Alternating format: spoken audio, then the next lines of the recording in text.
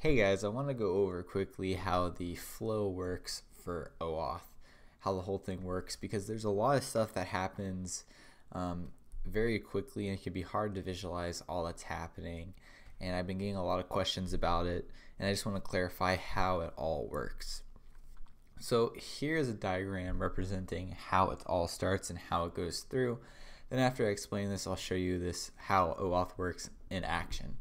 So first all starts with a client wanting to log in usually with OAuth. That's usually how it works. They'll click a button and um, when they click the button what they'd like to do is to log into your website with maybe their Google account, with their Facebook account, with something.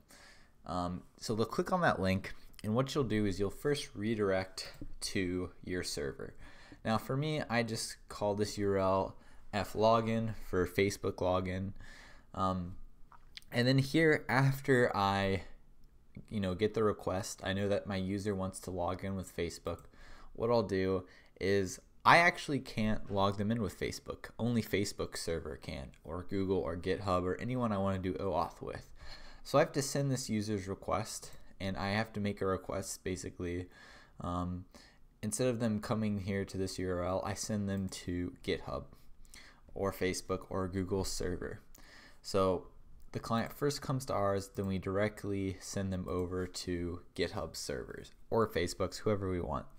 And then here the user will put in some credentials um, or whatnot. But note, they're on you know www.facebook.com or Google. They're not on our server anymore, so we have no idea what's going on. We've basically lost the state of what's happening, um, and we have no knowledge of what's going on. So whatever they they do on the you know when they're talking to Facebook, whether they type in their username, password, we have no idea what exactly they're doing. But when they finish, what happens is Facebook says, "Hey, either the person logged in good or they didn't." Either way, what they're going to do is they're going to send what's called a callback URL. They're going to call our server and send some data. So they're going to give us a callback and say, "Hey, this user is trying to log in here. Here's their information. So they'll usually send a payload of JSON with the, um, a lot of times, and this is what you really care about, is the email of the user. So with that email, you can then create account or log them in. You can get the data on your server and create tokens and send that to the client. But until um, Facebook server or whatever calls our server, we're kind of just sitting there waiting for the callback to happen. But we don't hang this request, right? Because the client's actually no longer on our server. So we actually just immediately lose the request when the user clicks on this little link. They're on Facebook's um, stuff. So we have no control over them. We're just waiting here. We don't even, like, they could just close the tab and never come back to our website.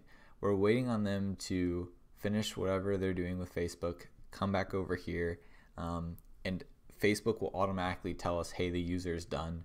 Here's the information. And then we'll go ahead and take this information that we get here. We'll search our database if we need to for the email.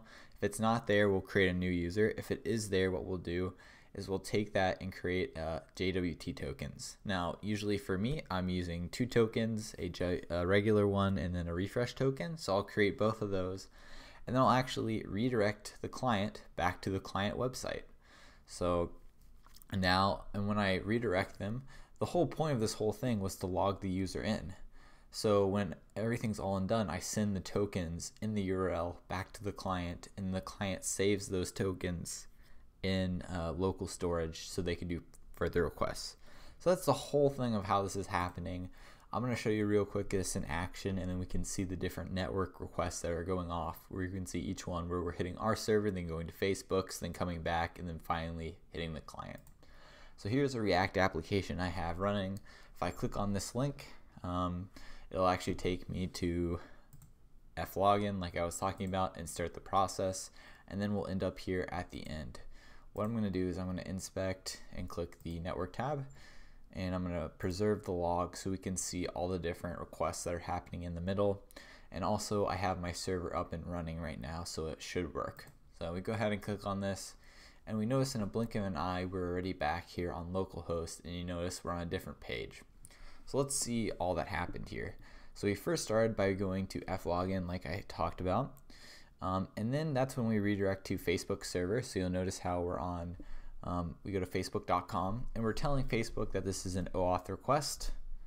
And then you'll notice we're back to our site, localhost 3000. This is a pretty small font, but it says um, localhost 3000. Can we see the headers? Um, we can see we're going to localhost 3000 off Facebook, and this is the callback URL. And this is where Facebook will give us the information um, that we need, the payload. And then after that, we notice we come back here. So I redirect from our server back here, and in the URL right here, these are called query parameters. I'm passing back the token, that's one, and also the refresh token, that's a second token. And then I'm saving that in local storage. So we can if we go to application, we can see both refresh token and token are now saved in local storage. So that is usually how OAuth works and how the workflow is. You'll send it over to your server, which sends it to whoever's server you want to log in with. It'll come back to your server to save and finalize anything and then redirect to the client and save any details you need to.